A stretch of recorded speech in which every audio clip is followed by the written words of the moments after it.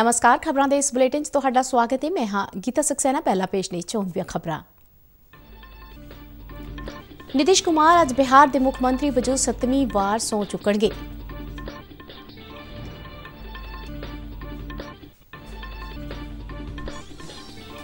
ਮਹਾਰਾਸ਼ਟਰ ਵਿਚਲੀ ਲੋਨਾਰ ਝੀਲ ਅਤੇ ਉੱਤਰ ਪ੍ਰਦੇਸ਼ ਵਿੱਚ ਪੈਂਦੀ ਈਥਮ ਝੀਲ ਨੂੰ ਰਾਮਸਰ ਸਾਈਟਾਂ ਨਾਲ ਜੋੜਿਆ ਗਿਆ।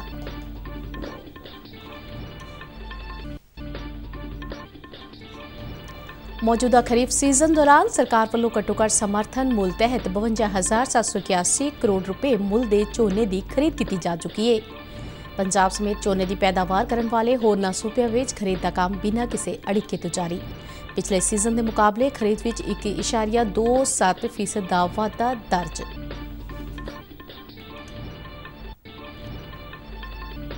ਦੇਸ਼ ਵਿੱਚ ਕਰੋਨਾ ਤੋਂ ਸਿਹਤਯਾਬ ਹੋਣ ਵਾਲਿਆਂ ਦੀ ਦਰ 93.2 ਤੋਂ ਪਾਰ ਹੋਈ। ਪੰਜਾਬ ਵਿੱਚ 547 ਨਵੇਂ ਮਾਮਲਿਆਂ ਦੀ ਪੁਸ਼ਟੀ ਹੋਈ। 561 ਮਰੀਜ਼ ਸਿਹਤਯਾਬ ਐਲਾਨੇ ਗਏ।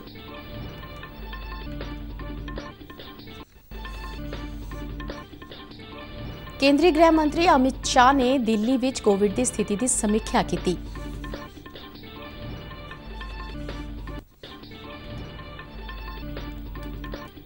ਐਸਜੀਪੀਸੀ ਦੇ 100 ਸਾਲ ਪੂਰੇ ਹੋਣ ਤੇ ਸ੍ਰੀ ਅਕਾਲ ਤਖਤ ਸਾਹਿਬ ਤੇ ਅਖੰਡ ਪਾਠ ਸਾਹਿਬ ਦੀ ਆਰੰਭਤਾ।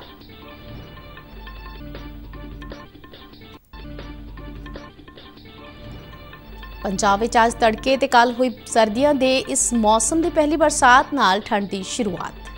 ਤਕਰੀਬਨ 2.5 ਮਹੀਨੇ ਬਾਅਦ ਪੰਜਾਬ ਵਿੱਚ ਵਰਖਾ ਹੋਈ। ਤੇ ਹੁਣ ਖਬਰਾਂ ਵਿਸਥਾਰ ਨਾਲ। ਨਿਤਿਸ਼ ਕੁਮਾਰ ਅੱਜ 7ਵੀਂ ਵਾਰ ਬਿਹਾਰ ਦੇ ਮੁੱਖ ਮੰਤਰੀ ਵਜੋਂ ਸਹੁੰ ਚੁੱਕਣਗੇ। ਜਨਤਾ ਦਲ ਯੂਨਾਈਟਿਡ ਦੇ ਆਗੂ ਨਿਤਿਸ਼ ਕੁਮਾਰ ਨੂੰ ਸਰਬਸੰਮਤੀ ਨਾਲ ਕੌਮੀ ਜਮਹੂਰੀ ਗਠਜੋੜ ਯਾਨੀ ਐਨਡੀਏ ਦਾ ਨੇਤਾ ਚੁਣਿਆ ਗਿਆ ਹੈ ਕੱਲ ਪਟਨਾ ਵਿੱਚ ਐਨਡੀਏ ਦੀਆਂ ਗਠਜੋੜ ਪਾਰਟੀਆਂ ਵਿਚਾਲੇ ਹੋਏ ਸਾਂਝੀ ਮੀਟਿੰਗ ਦੌਰਾਨ ਇਹ ਫੈਸਲਾ ਲਿਆ ਗਿਆ। ਇਸ ਤੋਂ ਪਹਿਲਾਂ ਨਿਤਿਸ਼ ਕੁਮਾਰ ਦੀ ਸਰਕਾਰੀ ਰਿਹਾਇਸ਼ ਤੇ ਜਨਤਾ ਦਲ ਯੂਨਾਈਟਿਡ ਦੇ ਨਵੇਂ ਚੁਣੇ ਗਏ ਵਿਧਾਨਕਾਰਾਂ ਦੀ ਮੀਟਿੰਗ ਦੌਰਾਨ ਵੀ ਉਹਨਾਂ ਨੂੰ ਮੁੜ ਤੋਂ ਪਾਰਟੀ ਦਾ ਆਗੂ ਚੁਣਿਆ ਗਿਆ ਸੀ। ਨਿਤਿਸ਼ ਕੁਮਾਰ ਵੱਲੋਂ ਅੱਜ ਦੁਪਹਿਰ ਮੁੱਖ ਮੰਤਰੀ ਦੇ ਅਹੁਦੇ ਦੀ ਸਹੁੰ ਚੁੱਕਣ ਦੀ ਸੰਭਾਵਨਾ ਹੈ ਰਾਜਪਾਲ ਫੱਗੂ ਚੌਹਾਨ, ਨਿਤਿਸ਼ ਕੁਮਾਰ ਅਤੇ ਬਿਹਾਰ ਕੈਬਨਿਟ ਵਿੱਚ ਸ਼ਾਮਲ ਹੋਣ ਵਾਲੇ ਮੰਤਰੀਆਂ ਨੂੰ ਅਹੁਦਾ ਅਤੇ ਪੇਤ ਗੁਪਤ ਰੱਖਣ ਦੀ ਸਹੁੰ ਚੁਕਾਣਗੇ। ਪਟਨਾ ਵਿੱਚ ਕੱਲ ਐਨਡੀਏ ਗੱਠਜੋੜ ਵਿੱਚ ਸ਼ਾਮਲ ਪਾਰਟੀਆਂ ਦੀ ਮੀਟਿੰਗ ਵਿੱਚ ਰੱਖਿਆ ਮੰਤਰੀ ਰਾਜਨਾਥ ਸਿੰਘ, ਕੇਂਦਰੀ ਅਬਜ਼ਰਵਰ ਵਜੋਂ ਸ਼ਾਮਲ ਹੋਏ। ਉਨ੍ਹਾਂ ਕਿਹਾ ਕਿ ਸੂਬੇ ਦੇ ਉਪ ਮੁੱਖ ਮੰਤਰੀ ਦੇ ਨਾਂ ਦਾ ਫੈਸਲਾ ਬੀਜੇਪੀ ਦੇ ਨਵੇਂ ਚੁਣੇ ਗਏ ਵਿਧਾਨਕਾਰਾਂ ਨਾਲ ਵਿਚਾਰ ਵਟਾਂਦਰੇ ਤੋਂ ਬਾਅਦ ਲਿਆ ਜਾਵੇਗਾ। ਇਸੇ ਮੀਟਿੰਗ ਵਿੱਚ ਕੇਂਦਰੀ ਮੰਤਰੀ ਨਿਤਿਆਨੰਦ ਰਾਏ, ਬੀਜੇਪੀ ਦੇ ਬਿਹਾਰ ਦੇ ਮਾਮਲਿਆਂ ਬਾਰੇ ਇੰਚਾਰਜ ਭੁਪਿੰਦਰ ਯਾਦਵ, ਚੋਣ ਪ੍ਰਭਾਰੀ ਦਵਿੰਦਰ ਫਡਨਵੀਸ, ਬਿਹਾਰ ਬੀਜੇਪੀ ਦੇ ਪ੍ਰਧਾਨ ਸੰਜੀਤ ਜੈਸਵਾਲ, ਹਿੰਦੁਸਤਾਨੀ ਆਵਾਮ ਮੋਰਚਾ ਦੇ ਪ੍ਰਧਾਨ ਜੇਤਨ ਰਾਮ ਮਾਂਜੀ ਅਤੇ ਵਿਕਾਸਸ਼ੀਲ ਇਨਸਾਨ ਪਾਰਟੀ ਦੇ ਮੁਖੀ ਮੁਕੇਸ਼ ਸਾਹਨੀ ਵੀ ਸ਼ਾਮਲ ਹੋਏ। ਐਨਡੀਏ ਦੀਆਂ ਚਾਰੋਂ ਗੱਠਜੋੜ ਪਾਰਟੀਆਂ ਬੀਜੇਪੀ ਜਨਤਾ ਦਲ ਯੂਨਾਈਟਿਡ, ਹਿੰਦੁਸਤਾਨੀ ਆਵਾਮ ਮੋਰਚਾ ਅਤੇ ਵਿਕਾਸਸ਼ੀਲ ਇਨਸਾਨ ਪਾਰਟੀ ਨੇ ਮੀਟਿੰਗ ਦੌਰਾਨ ਸੂਬੇ ਦੇ ਵਿੱਚ ਨਵੀਂ ਸਰਕਾਰ ਦੇ ਗਠਨ ਬਾਰੇ ਚਰਚਾ ਕੀਤੀ। ਪਿਛਲੇ ਦਿਨੀ ਬਿਹਾਰ ਵਿਧਾਨ ਸਭਾ ਦੀਆਂ 243 ਸੀਟਾਂ ਲਈ ਮੁਕੰਮਲ ਹੋਈਆਂ ਚੋਣਾਂ ਵਿੱਚ ਐਨਡੀਏ ਨੇ 125 ਸੀਟਾਂ ਜਿੱਤ ਕੇ ਸਪਸ਼ਟ ਬਹੁਮਤ ਹਾਸਲ ਕੀਤਾ ਹੈ। ਚੋਣਾਂ ਦੌਰਾਨ ਇਕਲੌਤੇ ਜਿੱਤ ਦਰਜ ਕਰਨ ਵਾਲੇ ਆਜ਼ਾਦ ਉਮੀਦਵਾਰ ਸੁਮਿਤ ਸਿੰਘ ਨੇ ਵੀ ਐਨਡੀਏ ਦਾ ਸਮਰਥਨ ਕਰਨ ਦਾ ਐਲਾਨ ਕੀਤਾ ਹੈ। ਕੇਂਦਰੀ ਵਾਤਾਵਰਣ ਜੰਗਲਾਤ ਅਤੇ ਪੌਣ ਪਾਣੀ ਵਿੱਚ ਤਬਦੀਲੀ ਬਾਰੇ ਮੰਤਰੀ ਪ੍ਰਕਾਸ਼ ਜਾਵੜੇਕਰ ਨੇ ਭਾਰਤ ਦੀਆਂ ਦੋ ਹੋਰ ਝੀਲਾਂ ਨੂੰ ਰਾਮਸਰ ਸਥਾਲ ਦੇ ਰੂਪ ਦੇ ਵਿੱਚ ਸ਼ਾਮਲ ਕੀਤੇ ਜਾਣ ਤੇ ਖੁਸ਼ੀ ਪ੍ਰਗਟਾਈ ਹੈ ਇਹਨਾਂ ਦੋਵੇਂ ਥਾਵਾਂ ਵਿੱਚੋਂ ਇੱਕ ਮਹਾਰਾਸ਼ਟਰ ਦਾ ਲੋਨਾਰ ਝੀਲ ਖੇਤਰ ਅਤੇ ਉੱਤਰ ਪ੍ਰਦੇਸ਼ ਦੇ ਆਗਰਾ 'ਚ ਪੈਂਦਾ ਸੁਰ ਸਰੋਵਰ ਹੈ ਜਿਸ ਨੂੰ ਈਥਮ ਝੀਲ ਦੇ ਨਾਂ ਤੇ ਵੀ ਜਾਣਿਆ ਜਾਂਦਾ ਹੈ। ਕੇਂਦਰੀ ਮੰਤਰੀ ਨੇ ਇੱਕ ਟਵੀਟ ਰਾਹੀਂ ਕਿਹਾ ਕਿ ਵੈਟਲੈਂਡਸ ਖੇਤਰ ਦੁਨੀਆ ਦੀਆਂ ਅਜਿਹੀਆਂ ਥਾਵਾਂ ਨੇ ਜਿੱਥੇ ਪਾਣੀ ਨੂੰ ਕੁਦਰਤੀ ਤਰੀਕੇ ਦੇ ਨਾਲ ਸਾਫ਼ ਕੀਤਾ ਜਾਂਦਾ ਹੈ ਤੇ ਇਹ ਖੇਤਰ ਧਰਤੀ ਤੇ ਸਭ ਤੋਂ ਵੱਧ ਪ੍ਰੋਡਕਟਿਵ ਇਕੋਸਿਸਟਮਾਂ ਦੇ ਵਿੱਚ ਸ਼ਾਮਲ ਹੈ ਭਾਰਤ ਨੇ 2 ਫਰਵਰੀ 1971 ਨੂੰ ਰਾਮਸਰ ਸਮਝੌਤੇ ਤੇ ਦਸਖਤ ਕੀਤੇ ਸਨ। ਕੌਮਾਂਤਰੀ ਮਹੱਤਤਾ ਵਾਲੇ ਆਪਣੇ ਵੈਟਲੈਂਡਸ ਖੇਤਰਾਂ ਨੂੰ ਕੁਦਰਤੀ ਢੰਗ ਨਾਲ ਸੁਰੱਖਿਅਤ ਰੱਖਣ ਲਈ ਵੀ ਮੈਂਬਰ ਮੁਲਕਾਂ ਵਿਚਾਲੇ ਦਸਖਤ ਕੀਤੇ ਗਏ ਸਭ ਤੋਂ ਪੁਰਾਣੇ ਅੰਤਰ ਸਰਕਾਰੀ ਸਮਝੌਤਿਆਂ ਦੇ ਵਿੱਚੋਂ ਇੱਕ ਹੈ ਰਾਮਸਰ ਸੂਚੀ ਦਾ ਮੰਤਵ ਵੈਟਲੈਂਡਸ ਖੇਤਰਾਂ ਦੇ ਕੌਮਾਂਤਰੀ ਨੈਟਵਰਕ ਨੂੰ ਵਿਕਸਿਤ ਅਤੇ ਕਾਇਮ ਰੱਖਣਾ ਹੈ ਜਿਹੜਾ ਗਲੋਬਲ ਜੈਵਿਕ ਵਿਭਿੰਨਤਾ ਦੀ ਸੰਭਾਲ ਦੇ ਲਈ ਅਹਿਮ ਹੈ ਅਜਿਹੇ ਵਾਤਾਵਰਣ ਪ੍ਰਣਾਲੀਆਂ ਤੇ ਢੰਗ ਤਰੀਕਿਆਂ ਦੇ ਲਈ ਮਨੁੱਖੀ ਜੀਵਨ ਅਤੇ ਕੁਦਰਤੀ ਤਾਲਮੇਲ ਕਾਇਮ ਰੱਖਣ ਦੇ ਵਿੱਚ ਮਦਦ ਮਿਲਦੀ ਹੈ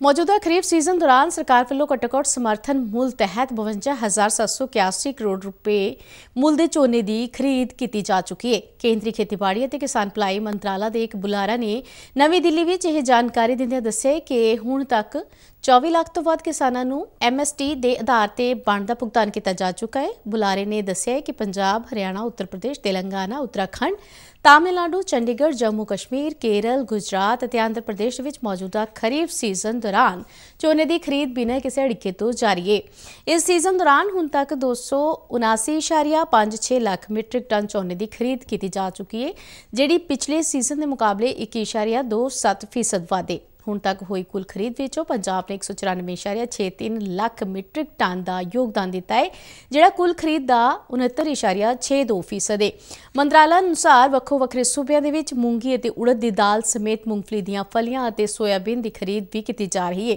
ਦਾਲਾਂ ਤੇ ਤੇਲ ਬੀਜਾਂ ਦੇ ਨਾਲ-ਨਾਲ ਕੁਝ ਸੂਬਿਆਂ ਦੇ ਵਿੱਚ ਨਾਰੀਅਲ ਦੀ ਖਰੀਦ ਦਾ ਕੰਮ ਵੀ ਜਾਰੀ ਹੈ ਇਸ ਤੋਂ ਇਲਾਵਾ ਪੰਜਾਬ ਸਮੇਤ ਹਰਿਆਣਾ, ਰਾਜਸਥਾਨ, ਮੱਧ ਪ੍ਰਦੇਸ਼, ਗੁਜਰਾਤ, ਮਹਾਰਾਸ਼ਟਰ, ਆਂਧਰਾ ਪ੍ਰਦੇਸ਼ ਅਤੇ ਤੇਲੰਗਾਨਾ ਵਿੱਚ ਕਪਾਹ ਬੀਜ ਦੀ ਖਰੀਦ ਦਾ ਕੰਮ ਐਮਐਸਟੀ ਤਹਿਤ ਨਿਰਵਿਘਨ ਜਾਰੀ ਹੈ। ਕੱਲ ਤੱਕ 1465847 ਕਪਾਹ ਗੰਡਾ ਦੀ ਖਰੀਦ ਕੀਤੀ ਜਾ ਚੁੱਕੀ ਸੀ। ਇਸ ਖਰੀਦ ਦੇ ਲਈ 286547 ਕਿਸਾਨਾਂ ਨੂੰ 4187 ਕਰੋੜ ਰੁਪਏ ਦਾ ਭੁਗਤਾਨ ਕੀਤਾ ਗਿਆ ਹੈ। ਦੇਸ਼ ਵਿੱਚ ਕਰੋਨਾ ਤੋਂ ਠੀਕ ਹੋਣ ਦੀ ਦਰ 93.09% ਤੱਕ ਪਹੁੰਚ ਗਈ ਹੈ ਬੀਤੇ ਦਿਨ 42000 ਤੋਂ ਵੱਧ ਕਰੋਨਾ ਮਰੀਜ਼ ਲਾਗ ਤੋਂ ਮੁਕਤ ਹੋਏ। ਸਿਹਤ ਮੰਤਰਾਲਾ ਅਨੁਸਾਰ ਹੁਣ ਤੱਕ 82 ਲੱਖ 5000 ਤੋਂ ਵੱਧ ਲੋਕ ਕਰੋਨਾ ਤੋਂ ਮੁਕਤ ਹੋ ਚੁੱਕੇ ਨੇ। ਹੁਣ ਕਰੋਨਾ ਦੇ ਮਰੀਜ਼ਾਂ ਦੀ ਸੰਖਿਆ ਪੋਜ਼ਿਟਿਵ ਮਾਮਲਿਆਂ ਦੀ ਕੁੱਲ ਸੰਖਿਆ ਦਾ ਮਹਿਜ 5.44 ਫੀਸਦ। ਹੈ ਦੇਸ਼ ਵਿੱਚ ਫਿਲਹਾਲ 479216 ਕਰੋਨਾ ਮਰੀਜ਼ ਮੌਜੂਦ ਨੇ। ਬੀਤੇ ਦਿਨ ਕਰੋਨਾ ਵਾਇਰਸ ਦੇ 41000 ਨਵੇਂ ਮਾਮਲੇ ਸਾਹਮਣੇ ਆਏ। ਇਸ ਦੇ ਨਾਲ ਹੀ ਦੇਸ਼ ਵਿੱਚ ਕਰੋਨਾ ਦੇ ਕੁੱਲ ਮਾਮਲਿਆਂ ਦੀ ਸੰਖਿਆ 88 ਲੱਖ ਤੋਂ ਪਾਰ ਹੋ ਗਈ ਹੈ। ਮੰਤਰਾਲਾ ਅਨੁਸਾਰ ਯੋਜਨਾਬੱਧ ਤਰੀਕੇ ਦੇ ਨਾਲ ਕਾਰਗਰ ਟੈਸਟਿੰਗ, ਸ਼ੱਕੀ ਰੋਗੀਆਂ ਦਾ ਪਤਾ ਲਗਾਉਣ ਅਤੇ ਉਹਨਾਂ ਦੇ ਇਲਾਜ ਪ੍ਰਤੀ ਗੰਭੀਰਤਾ ਵਰਤੇ ਜਾਣ ਕਾਰਨ ਜ਼ਿਆਦਾਤਰ ਲੋਕ ਕਰੋਨਾ ਤੋਂ ਠੀਕ ਹੋ ਗਏ ਨੇ ਅਤੇ ਮੌਤ ਦਰ ਵੀ ਬਹੁਤ ਘੱਟ ਹੋ ਰਹੀ ਹੈ ਦੇਸ਼ ਵਿੱਚ ਇਸ ਸਮੇਂ ਕਰੋਨਾ ਤੋਂ ਹੋ ਰਹੀਆਂ ਮੌਤਾਂ ਦੀ ਦਰ ਸਿਰਫ 1.47% ਹੈ ਜੋ ਦੁਨੀਆ ਦੀਆਂ ਕਰੋਨਾ ਤੋਂ ਸਭ ਤੋਂ ਘੱਟ ਮੌਤ ਦਰਾਂ ਦੇ ਵਿੱਚ ਸ਼ੁਮਾਰ ਹੈ ਬੀਤੇ ਦਿਨ ਕਰੋਨਾ ਕਾਰਨ ਦੇਸ਼ ਦੇ ਵਿੱਚ 447 ਲੋਕਾਂ ਦੀ ਮੌਤ ਹੋਈ। ਹੁਣ ਤੱਕ ਕੋਵਿਡ-19 ਕਾਰਨ 1,29,635 ਲੋਕਾਂ ਦੀਆਂ ਜਾਨਾਂ ਗਈਆਂ ਨੇ। ਭਾਰਤੀ ਡਾਕਟਰੀ ਖੋਜ ਕੌਂਸਲ ਅਨੁਸਾਰ ਬੀਤੇ ਦਿਨ 8,05,000 ਤੋਂ ਵੱਧ ਨਮੂਨਿਆਂ ਦੀ ਕਰੋਨਾ ਜਾਂਚ ਹੋਈ। ਹੁਣ ਤੱਕ 12 ਕਰੋੜ 48 ਲੱਖ ਤੋਂ ਵੱਧ ਨਮੂਨਿਆਂ ਦੀ ਜਾਂਚ ਹੋ ਚੁੱਕੀ ਹੈ ਦੂਜੇ ਪਾਸੇ ਪਾਸੇ ਪੰਜਾਬ ਦੇ ਵਿੱਚ ਪਿਛਲੇ 24 ਘੰਟਿਆਂ ਦੌਰਾਨ 547 ਨਵੇਂ ਮਾਮਲਿਆਂ ਦੀ ਪੁਸ਼ਟੀ ਹੋਈ ਹੈ, ਜਿਸ ਨਾਲ ਸੂਬੇ ਦੇ ਵਿੱਚ ਐਕਟਿਵ ਮਰੀਜ਼ਾਂ ਦੀ ਗਿਣਤੀ 5769 ਹੋ ਗਈ ਹੈ। ਬੀਤੇ ਦਿਨ 561 ਮਰੀਜ਼ਾਂ ਨੂੰ ਸਿਹਤਯਾਬ ਐਲਾਨਿਆ ਗਿਆ ਹੈ। ਇਸ ਮਹਾਮਾਰੀ ਦੇ ਨਾਲ ਕੱਲ 22 ਮੌਤਾਂ ਹੋਈਆਂ, ਜਿਸ ਨਾਲ ਮਰਨ ਵਾਲਿਆਂ ਦੀ ਕੁੱਲ ਗਿਣਤੀ 4458 ਹੋ ਗਈ ਹੈ। ਕੇਂਦਰੀ ਗ੍ਰਹਿ ਮੰਤਰੀ ਅਮਿਤ ਸ਼ਾਹ ਨੇ ਦਿੱਲੀ ਅੰਦਰ ਕੋਵਿਡ ਮਹਾਮਾਰੀ ਦੇ ਵੱਧ ਰਹੇ ਮਾਮਲਿਆਂ ਅਤੇ ਉਹਨਾਂ ਦੇ ਇਲਾਜ ਲਈ ਲੋੜੀਂਦੇ ਬੁਨਿਆਦੀ ਡਾਕਟਰੀ ਢਾਂਚੇ ਦੀ ਸਮੀਖਿਆ ਕਰਨ ਲਈ ਇੱਕ ਉੱਚ ਪੱਧਰੀ ਮੀਟਿੰਗ ਦੀ ਪ੍ਰਧਾਨਗੀ ਕੀਤੀ। ਉਹਨਾਂ ਦਿੱਲੀ ਵਿੱਚ ਆਰਟੀਪੀਸੀਆਰ ਟੈਸਟਾਂ ਦੀ ਗਿਣਤੀ ਵਧਾ ਕੇ ਦੋ ਗੁਣਾ ਕਰਨ ਅਤੇ ਦਿੱਲੀ ਵਿੱਚ ਲੈਬਾਰਟਰੀਆਂ ਦੀ ਸਮਰੱਥਾ ਦੀ ਵੱਧ ਤੋਂ ਵੱਧ ਵਰਤੋਂ ਕਰਨ ਦੀ ਹਦਾਇਤ ਦਿੱਤੀ। ਉਹਨੇ ਕਿਹਾ ਕਿ ਜਿਨ੍ਹਾਂ ਇਲਾਕਿਆਂ ਦੇ ਵਿੱਚ ਕੋਵਿਡ ਦੇ ਫੈਲਾਅ ਦੀਆਂ ਸੰਭਾਵਨਾਵਾਂ ਜ਼ਿਆਦਾ ਨੇ, ਉੱਥੇ ਸਿਹਤ ਮੰਤਰਾਲਾ ਅਤੇ ਆਈਸੀਐਮਆਰ ਦੀਆਂ ਮੋਬਾਈਲ ਟੈਸਟਿੰਗ ਵੈਨਾਂ ਨੂੰ ਤਨਾਤ ਕੀਤਾ ਜਾਵੇਗਾ। ਗ੍ਰਹਿ ਮੰਤਰੀ ਨੇ ਇੱਕ ਟਵੀਟ ਸੁਨੇਹੇ ਦੇ ਵਿੱਚ ਕਿਹਾ ਕਿ ਦਿੱਲੀ ਵਿੱਚ ਹਸਪਤਾਲਾਂ ਦੀ ਸਮਰੱਥਾ ਅਤੇ ਉਸ ਵਿੱਚ ਬੁਨਿਆਦੀ ਢਾਂਚੇ ਦੀ ਉਪਲਬਧਤਾ ਦੇ ਵਿੱਚ ਵਾਧਾ ਕੀਤੇ ਜਾਣਾ ਚਾਹੀਦਾ ਹੈ। ਉਹਨਾਂ ਕੋਵਿਡ ਦੇ ਬੇहद ਗੰਭੀਰ ਰੋਗੀਆਂ ਦੇ ਇਲਾਜ ਲਈ ਤੌਲਾਕੂਆਂ ਦੇ ਵਿੱਚ ਪੈਂਦੇ ਰੱਖਿਆ ਖੋਜ ਅਤੇ ਵਿਕਾਸ ਸੰਗਠਨ ਦੇ ਕੋਵਿਡ ਹਸਪਤਾਲ ਵਿੱਚ 250 ਤੋਂ 300 ਆਈਸੀਯੂ ਬੈੱਡ ਹੋਰ ਸ਼ਾਮਿਲ ਕੀਤੇ ਜਾਣ ਦੀ ਗੱਲ ਕੀਤੀ।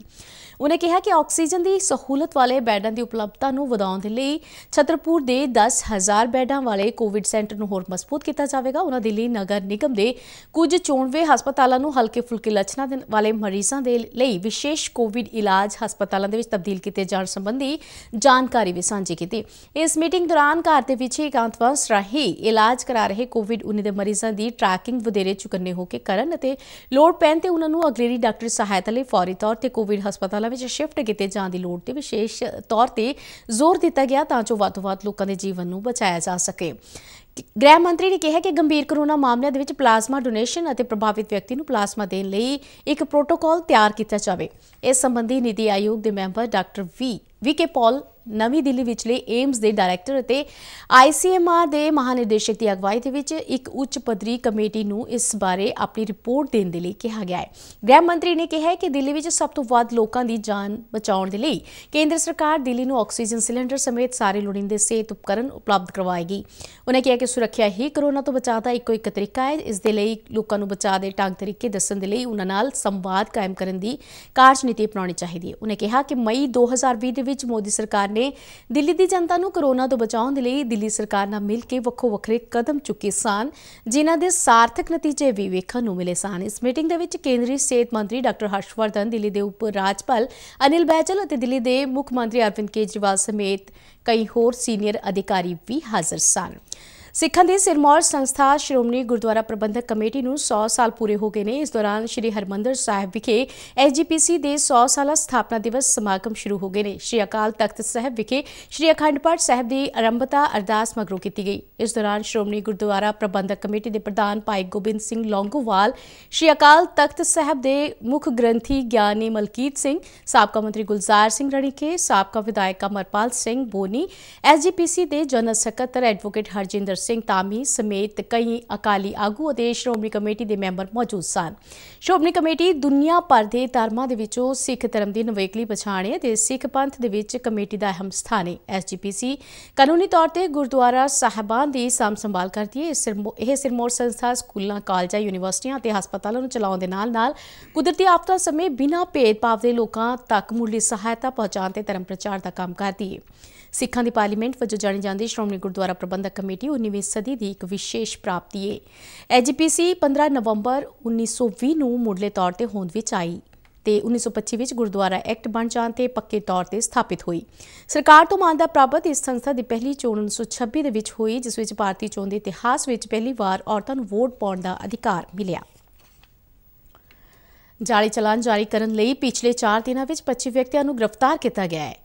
ਜੀਐਸਟੀ ਇੰਟੈਲੀਜੈਂਸ ਦੇ ਡਾਇਰੈਕਟੋਰੇਟ ਜਨਰਲ ਵੱਲੋਂ ਜਾਰੀ ਬਿਆਨ ਵਿੱਚ ਕਿਹਾ ਗਿਆ ਹੈ ਕਿ ਇਸ ਵਿੱਚ ਸ਼ਾਮਲ ਨਕਲੀ ਇਨਪੁਟ ਟੈਕਸ ਕ੍ਰੈਡਿਟ ਅਤੇ ਆਈਟੀਸੀ ਦੀ ਅਸਲ ਰਕਮ ਵਿਚਲੇ ਫ਼ਰਕ ਦਾ ਪਤਾ ਲਗਾਇਆ ਜਾ ਰਿਹਾ ਹੈ। ਇਸ ਤੋਂ ਇਲਾਵਾ ਇਸ ਰੈਕਟ ਵਿੱਚ ਸ਼ਾਮਲ ਹੋਣਾ ਵਿਅਕਤੀਆਂ ਅਤੇ ਉਹਨਾਂ ਲਾਭਪਾਤਰੀਆਂ ਦੀ ਪਛਾਣ ਕਰਨ ਅਤੇ ਉਹਨਾਂ ਨੂੰ ਫੜਨ ਦੀ ਪਾਲ ਅਤੇ ਜਾਂਚ ਕੀਤੀ ਜਾ ਰਹੀ ਹੈ, ਜਿਨ੍ਹਾਂ ਵਿੱਚੋਂ ਜਿਨ੍ਹਾਂ ਵੱਲੋਂ ਜੀਐਸਟੀ ਇਨਕਮ ਟੈਕਸ ਅਤੇ ਮਨੀ ਲਾਂਡਰਿੰਗ ਤੋਂ ਬਚਣ ਲਈ ਨਕਲੀ ਚਲਾਨਾਂ ਦੀ ਵਰਤੋਂ ਕੀਤੀ ਗਈ ਹੈ।